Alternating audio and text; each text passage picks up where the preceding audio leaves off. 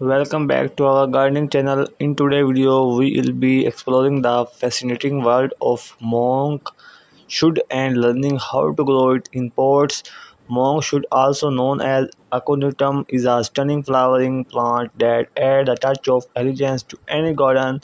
Or balcony so let's dive right in and dive discover the secret to successfully cultivating monk in pots before we get started, let's talk a moment to understand monkshood.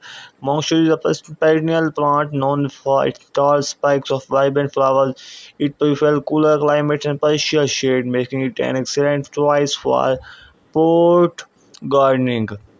However, it's important to note that uh, all parts of monkshood plant are highly tropic, so handle it with care and keep it away from the children and pets.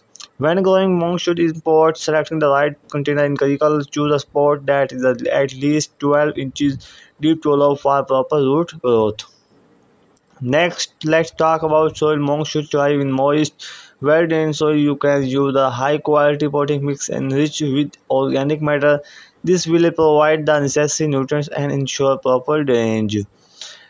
Now it's time to plant. Our monkshood start by filling the pot with the prepared potting mix, leaving a few inches of space at the top. Gently loosen the monkshood plant from its nursery container, being careful not to damage the roots. Place the plant in the center of the pot and backfill with the remaining soil, ensuring that the crown of the plant is level with slightly above the soil surface.